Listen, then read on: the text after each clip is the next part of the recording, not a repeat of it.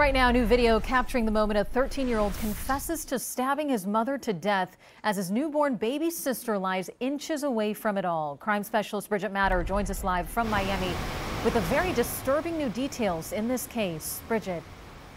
13 year old Derek Rosa did answer some investigators' questions about the murder of his mother. He even said he used, used a large kitchen knife, but when police asked him why, he wouldn't answer. 13 year old Derek Rosa is charged in the murder of his own mother, Irina Garcia, accused of stabbing her 46 times inside their Hialeah home. You killed her? All right. What type of knife was it? Do you know? It was just a big size kitchen knife. That big? Yeah. What color was the the the handle? Purple. Purple? Yes. Okay. Uh, your mom was sleeping?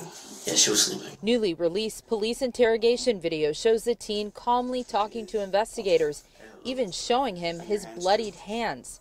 The audio of this video was previously played during a court hearing. Rosa was seen breaking down as he listened. A baby monitor captured Rosa standing over his mother before the brutal attack. She had defensive wounds on her hands. On her back, she had numerous uh, stab wounds. Police described stab wounds all over her body. The only part that was not stabbed was behind her knees. Where exactly did you cut her? Portions of the tape are redacted, but Rosa points to his neck. And then she woke up. Yes. Did you say anything else to her? Did she say anything to you or no? No, she just screamed. Investigators say the teen sent photos of the crime scene and a photo of himself to an online friend. You were about to tell me the why.